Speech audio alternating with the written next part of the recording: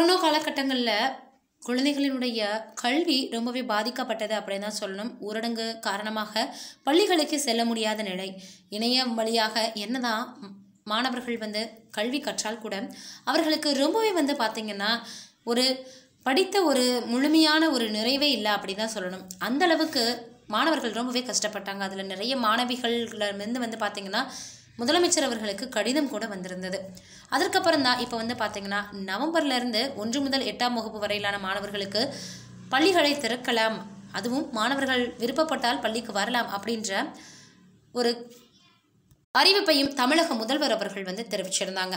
இப்படி இருக்கக்கூடிய சூழ்நிலையில் இப்போ முதலமைச்சர் அவர்களே நேரடியாக ஆசிரியரிடம் வந்து தரையில் உட்காந்து பாடத்தை எனக்கும் எடுங்கன்னு சொல்லி கற்றுக்கிட்டாராம் என்ன ஆச்சு? எதற்காக இப்படி வந்து செஞ்சுருக்கிறாங்க நம்ம தமிழக முதல்வர் அப்படின்றத தான் இந்த வீடியோவில் நம்ம பார்த்து தெரிஞ்சுக்க போகிறோம் வாங்க வீடியோக்குள்ளே போகலாம்.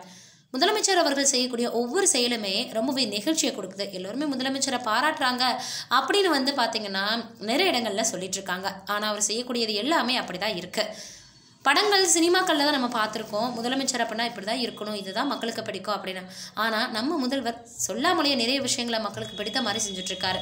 விழுப்புரம் மரக்காணம் பகுதியில் இல்லம் தேடி கல்வி அப்படின்ற ஒரு திட்டத்தை தொடங்கி வச்சிருக்கிறாரு நம்ம தமிழக முதல்வர். அதில் மாணவர்களுக்கான கற்றல் இடைவெளி அதிகமாக இருக்கு அப்படின்றதன் அடிப்படையில் தான் அதை நோக்கமாக வச்சு தான் இப்போ இருநூறு கோடி ரூபாய் செலவில் இந்த வீடுதோறும் கல்வி அதாவது இல்லம் தேடி கல்வி அப்படின்றத இப்போ உருவாக்கியிருக்கிறாங்களாம் இதில் யாருக்கெல்லாம் ஆர்வம் இருக்கோ தன்னார்வலர்கள் அப்ளை பண்ணலான்னு சொல்லியிருந்தாங்களாம் அதன் அடிப்படையில் கிட்டத்தட்ட ஆடி பாடி பாடல்கள் பாடி நடனம் ஆடி இதே மாதிரி சிறுவர்களுக்கு பிடிக்கக்கூடிய அனைத்து செயல்களையும் செஞ்சு ஒன்றரை மணி நேரத்தில் இருந்து ஒரு மணியிலிருந்து ஒன்றரை மணி நேரம் வரைக்கும் வந்து பார்த்திங்கன்னா இந்த கற்றல் நிகழ்வானது நடக்குமா? அப்போ இந்த திட்டத்தை தொடங்கி வச்சது மட்டும் இல்லாமல் என்ன செஞ்சுருக்கிறாரு நம்ம முதல்வர் அப்படின்னு வந்து பார்த்தா அவரும் தரையிலேயே அமர்ந்து அவங்க எடுக்கக்கூடிய பாடத்தை கவனிச்சிருக்கிறார். கூடவே நம்ம கல்வித்துறை அமைச்சர் அன்பில் மகேஷ் பொய்யாமொழி அவர்களும் வந்து இருந்திருக்கிறார். இதை பார்த்துட்டு இப்படி செய்கிறாரே நம்ம தமிழக முதல்வர் அப்படின்னு எல்லோருமே வியப்போட பார்த்துருக்குறாங்க. ஆசிரியர்களே ரொம்ப ஆச்சரியப்பட்டு போயிட்டாங்களாம். அந்த அளவுக்கு இருந்திருக்கு நம்ம தமிழக முதல்வர் அவர்களினுடைய நடவடிக்கை.